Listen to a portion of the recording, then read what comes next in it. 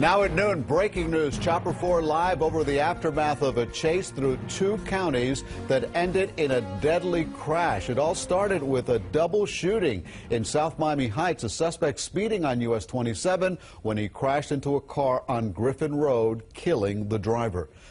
Well, after the crash, the suspect held police at bay, leading to an hour-long standoff. He was later found dead inside his car. We've got live team coverage from the scene of the crash and the shooting scene where it all began. Let's start with CBS 4's Joan Murray live on the scene where this chase ended tragically. Joan?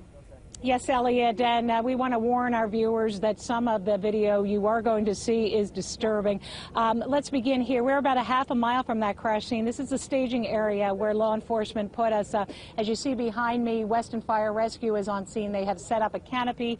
Uh, many uh, area law enforcement involved in this operation, including Weston Fire Rescue, Broward Sheriff's Office, Broward Sheriff's Office Chopper. Also, uh, Davie PD was out here, and as uh, various undercover officers we saw going by us as we made our way out to the scene. Let us first begin with where this chase, uh, we picked it up, and it started with this car swerving around a dump truck, turning onto US 27 North. It was a Mercedes. Uh, you can see he was driving erratically north on US 27, uh, going through red lights, um, also barely missing many vehicles.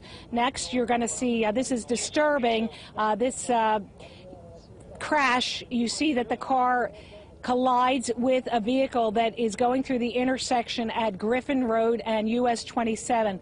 Um, the driver, unfortunately, uh, was deceased. Um, next, you're going to see what happened after that awful crash took place and that ended tragically with an innocent driver being killed. Uh, the standoff.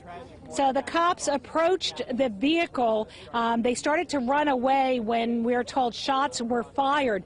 Uh, SWAT did arrive on scene. You can see that the police were uh, behaving very cautiously. They backed off as the SWAT moved in. Uh, the SWAT standoff um, eventually ended next to their Mercedes. Um, again, the uh, alleged perpetrator of this uh, was also uh, killed. Uh, at this point, we do not have the identity on that alleged perpetrator. Uh, neither do we have the identity on this person who was going through the intersection. We can tell you that uh, the driver uh, was trying to make his way through that intersection when the driver of the Mercedes crashed into him. Uh, he was killed instantly. Um, at this point, again, this is a very active police scene out here on Griffin Road. Again, we're just east of US 27. We understand at this hour that uh, traffic on US 27 southbound is now open. However, northbound remains closed, and it will be uh, closed for some time while this investigation uh, proceeds into um, exactly what happened from uh, the start of where these uh, shots were fired up until where it ended here in West Broward.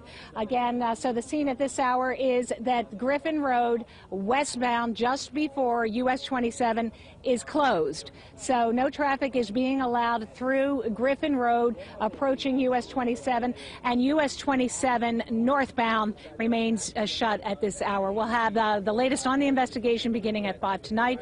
Reporting in West Broward County, Joan Murray, CBS 4 News.